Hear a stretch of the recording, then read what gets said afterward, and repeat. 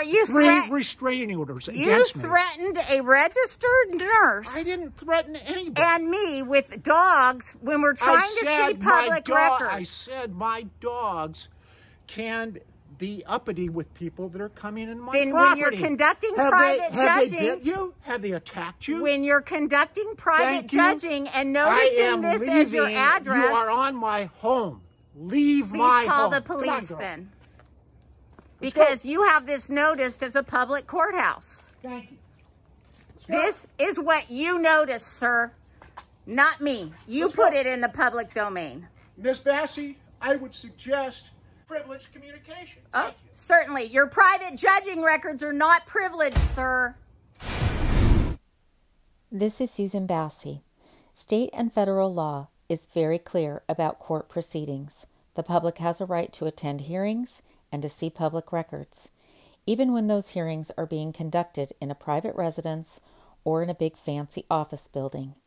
California, over the last 20 years, has been privatizing the courts by allowing attorneys to act as judges with full power and immunity for private compensation. And this occurred even in the pandemic when the courts were closed to everybody else. But we still had a right to access these proceedings and these hearings.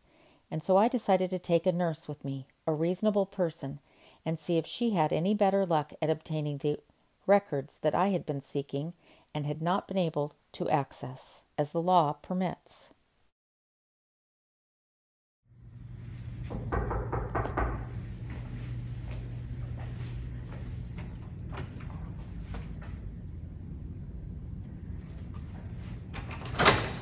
Hi. Hi. How are you? I'm looking for an employee of BJ Fadem's office. Okay, which employee? Any? For what is this? Do you guys do you work here? It depends. Who are you? My name is Corrigan, and I'm trying to access public records. Okay, hold on. Okay. Depends. videotaping you and you're videotaping me waiting for public records related to private judging in the law offices of BJ Fadem. Is this what we're gonna have to do at every single place that we go from, for, where private judges work? Not one person is complying with the law. Hi, Hi there. are you security? I'm security here. What, what's going on? Well, they are a public court judge Okay. and No. They're trying to not let us in to see the records.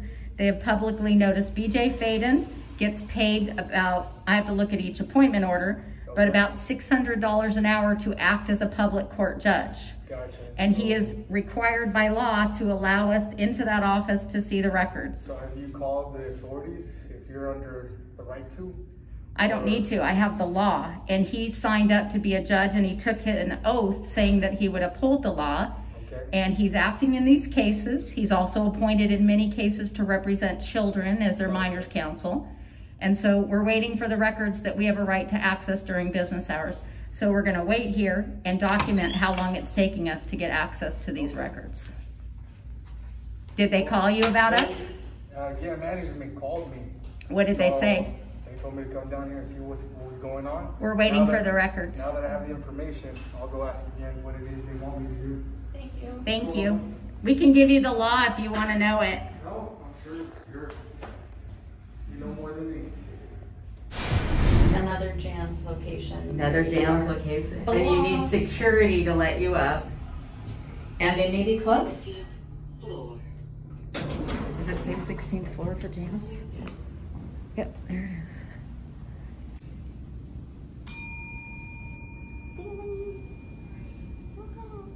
Remember that?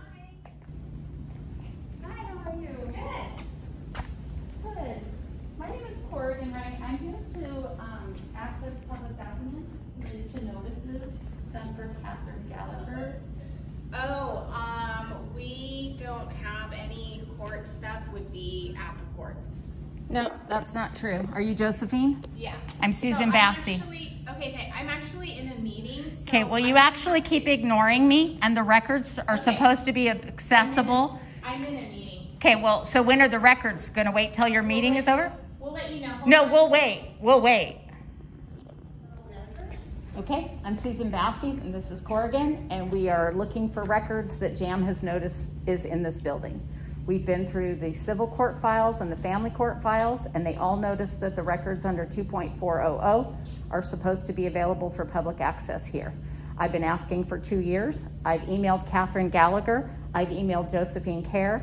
I've emailed the manager of JAMS in LA and, and Orange County and Irvine. And we're two years later, you guys are collecting PPP money and you are not making these records available. So we want to know when you're going to make the records available to the public that the law says you have to make available. So we're here for that So why again. don't you have a seat? I'm gonna go ahead and give my legal counsel a call and have her have a conversation. Thank you That's much. great. Here's my business card for the two of you, Thank you. I just need a picture of it. I don't need to take it. and I would need to know which cases you want access to. She's got a list, and the other thing is we want to see Catherine Gallagher's notices of notifying the clerk that she's been appointed in a case. Those are records you should have in, as part of your business. of cases. Okay. Okay, these are the three cases. Those are noticed on the public court website that she is doing private judging in those family law cases. So that means under California Rules of Court 2.400, we can look at anything that she has related to those cases here, and I also want to see her notice. Same way that she's reporting it. Okay, you guys do know that when you obstruct public access to public records, that's a business practice and a policy. Okay, I will Thank you. look. Ooh, she has my picture. It's not like it's not all over online.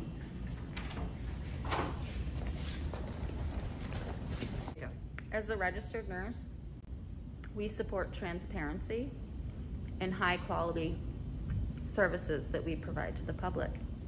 I do not support JAMS. That woman just took my picture because I came in here asking to see public records. Do you know her name? No idea who that was. Josephine Kerr. Josephine Kerr. She's the assistant for Catherine Gallagher. She should have asked me to pull my mask down. But she's gonna send that picture to all of her friends in JAMS and all of their other business associates so that when I walk into a JAMS building, they all know to go scurry, run and hide and call general counsel. Like I'm harassing them because I'm here to access public records that they have.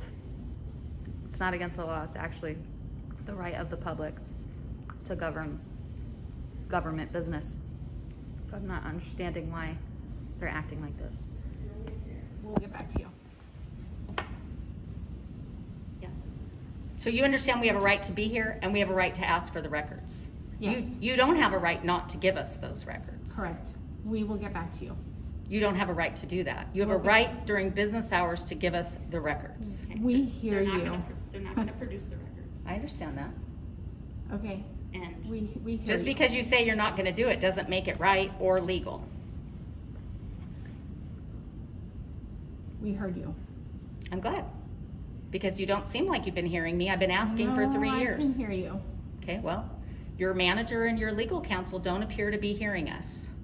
So we're gonna get a little louder, and you guys are gonna be the face of us getting louder. That's your employer. That's what your employer is asking you to do. They're not coming out here. The lawyers, the judges, the private judges, the arbitrators, they're not coming out here. They're making you guys do their dirty work. do you know that you have judges hmm. working here that are taking people's homes, Melissa, let me know if you their need- children, all of their money, everything that they have behind these doors? Do you know that? That's paying your salary. literally the most horrific orders that I have ever read or seen in my life have come out of this office. You would never ever want to use a private judge unless you knew one. Because that's and knew that way- they were going to follow the law, including giving access to the public. We're, we're not, we don't have a lot of rights, but we have a right to see those records. And we're not being allowed to see those records. Asking in 2019, 2020, 2021, and now 2022. It says during normal business hours, we've been asking for three years. JAMS has made a fortune and collected federal money during that time. Thank you for your time. Thank you. So during our private judge investigation, one thing that we started to notice was that a number of private judges were using P.O. boxes disguised as addresses for their place where they conduct their private judging business. When an attorney becomes a private judge, they are required to list the name, address, and telephone number of where they are holding their private judge business. They don't have to get elected to the bench, they don't even have to get appointed, but they do have to tell the public where we are entitled to see their open proceedings or find their documents. And when a private judge, such as James Cox, notices on the State Bar website and their private judging list that the address where you can get records and have access to open proceedings is a P.O. box, there's something that just doesn't add up when we go to investigate those issues because a private judge can't obviously do business from a P.O. box.